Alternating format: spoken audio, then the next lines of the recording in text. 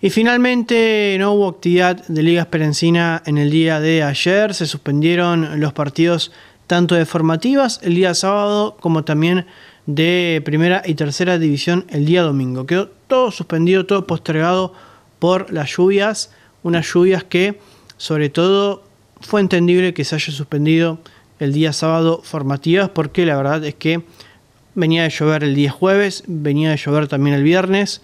Eh, y bueno, obviamente que las canchas no estaban en condiciones el día sábado para los partidos de formativas. Recordemos que se juegan cuatro partidos eh, normalmente en cada una de las canchas y bueno, obviamente que iba, iba a ser demasiado para los terrenos de juego. Por eso se tomó la lógica decisión de suspender los partidos de inferiores del día sábado.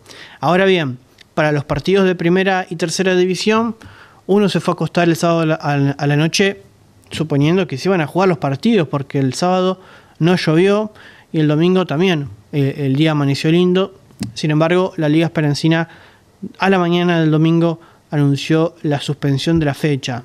Obviamente que esto generó cierta, cierta no sé si polémica, pero eh, opiniones cruzadas. Generalmente, bueno, muchas opiniones acerca de que se podía haber jugado tranquilamente la fecha.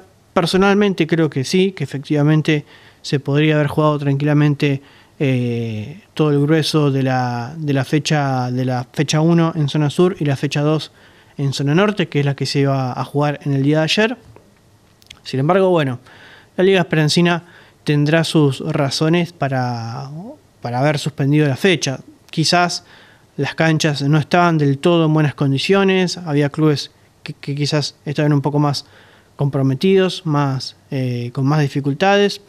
Eh, o quizás directamente para cuidar las canchas y no forzarlas ya, eh, siendo que recién está arrancando el año. La verdad es que no, no, no sabemos a ciencia cierta qué fue lo que terminó generando la decisión de, suspender la fecha, porque repito, eh, el día sábado no llovió y el domingo también estaba lindo. Y, bueno, lo, lo, vimos, ayer a la tarde estaba lindo también el día, pero bueno, ya de temprano la Liga Esperancina había tomado la decisión de suspender toda la fecha. Recordemos que el Depor iba a estar jugando como visitante ante Argentino de López eh, y Argentino de San Carlos, de aquí de nuestra ciudad, iba a estar jugando también como visitante ante Unión de Esperanza, ante el Repollero.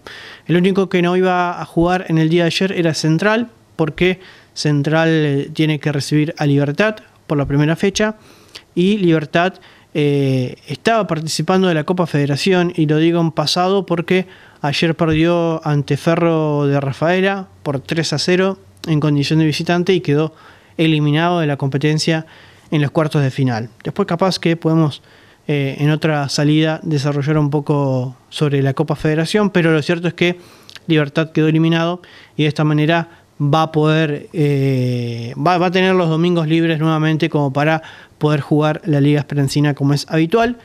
Y además, justamente hablando de esto, ya la Liga Esperencina anunció justamente en el comunicado de la suspensión que la fecha 2 de la zona norte, que recordemos que la zona norte ya jugó una fecha, porque es una zona eh, impar y eh, por eso tiene una fecha más.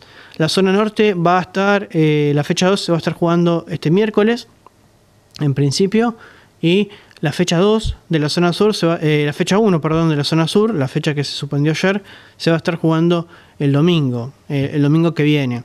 Y justamente eh, en relación con esto, Central y Libertad iban a estar jugando este miércoles, por esto que decimos de la Copa Federación.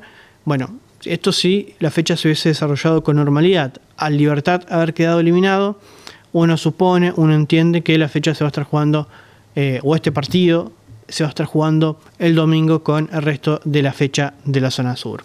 Por lo pronto nos quedamos con las ganas, nos quedamos con las expectativas de ver eh, fútbol este fin de semana. Tuvimos actividad igual desde lo deportivo que después lo vamos a ir desarrollando durante toda la semana porque tuvimos actividad del fútbol femenino en Argentina, que esto estuvo bueno, después lo vamos a compartir. Tuvimos también actividad del hockey, tuvimos actividad del vóley, por supuesto.